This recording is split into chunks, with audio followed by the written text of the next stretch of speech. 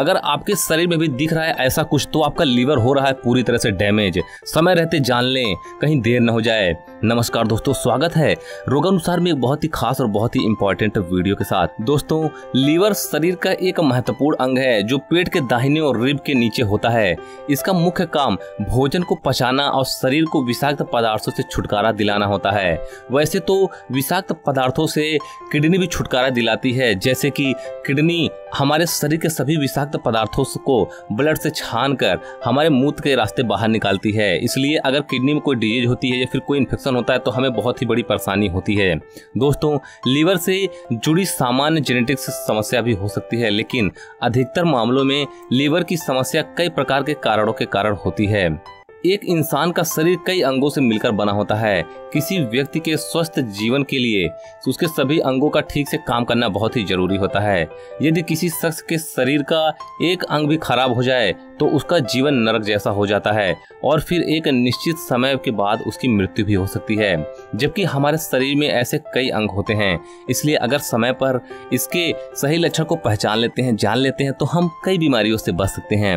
लेकिन इसे जानने के लिए आपको वीडियो पूरी देखनी होगी। क्योंकि हम नहीं चाहते कि आपसे कोई भी खास जानकारी छूटे। तो वीडियो को अंत तक ज़रूर देखें। दोस्तों हमारे वीडियो को लाइक करना ना भूलें।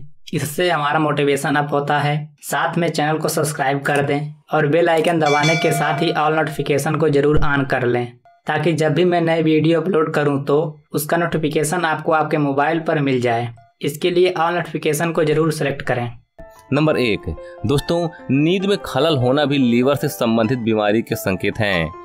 आपको बता दें कि अगर आपके नींद में परेशानी हो रही है तो आप लीवर की समस्या से ग्रसित हैं। नंबर दो, दोस्तों, अगर थोड़ी सी चोट लगने पर भी आपके शरीर से ज़्यादा मात्रा में खून निकलने लगता है तो यह लीवर कमज़ोर होने का संकेत हो सकता है। दरअसल, खून जमाने के लिए जिस प्रोटीन की ज़रूरत होती है, वो लीवर ही बनाती है। लीवर के खराब होने पर शरीर में इस प्रोटीन की कमी हो जाती है। नंबर तीन दोस्तों, अगर आपका दिमाग सुस्त हो गया है और आपकी यादाश्त दुरुस्त नहीं रहती तो ये लीवर खराब होने का संकेत है। लीवर बॉडी में टॉक्सिन्स नहीं निकाल पाता तो ये ब्रेन में जमा होने लगता है, जिससे यादाश्त कमज़ोर होने लगती है। अगर आपकी यादाश्त कमज़ोर महसूस हो रही है तो आप डॉक्टर से तुरंत संपर्क करें।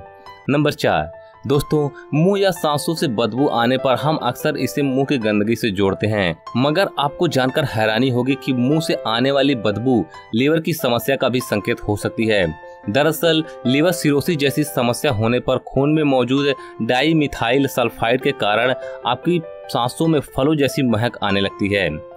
नंबर पाँच। जी हाँ दोस्तों, हर वक्त थकान महसूस करते हैं और सिर्फ़ सोने और लेटने का मन करता है तो आपके लीवर में सेहत की कोई समस्या ज़रूर है। आपके लीवर में कोई भी परेशानी होगी तो आपको बहुत ही ज़्यादा थकान महसूस होगी।